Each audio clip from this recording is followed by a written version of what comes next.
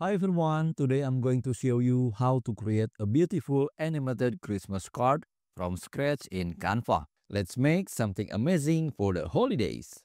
First is open your Canva and then choose the size. I will choose Instagram post portrait size. And then go to element. I will find a Merry Christmas greeting. For example, I will choose this one. I will reduce the size and place it here reduce again and place it in the center. And then I will choose a background. Christmas background. Okay. I will choose the photo. Scroll down and I will choose this one.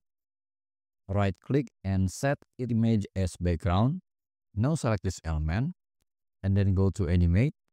I will choose brush and then I will choose wild and then right click on the element and choose show element timing and then I will drag it a little to the right. Now let's add Christmas ornament as you like. For example, I will choose this one, the star. I will set it here. And this star to be here and then this red snowflake here and this box I will place it here. And then add more ornament just as you like. And then click this thumbnail view and right click here and then duplicate duplicate page and then go to duration click the timing, I will set to 2 seconds and apply to all pages.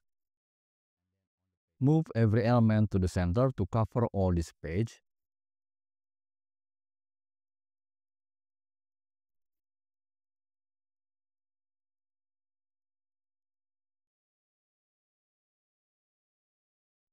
Go to position.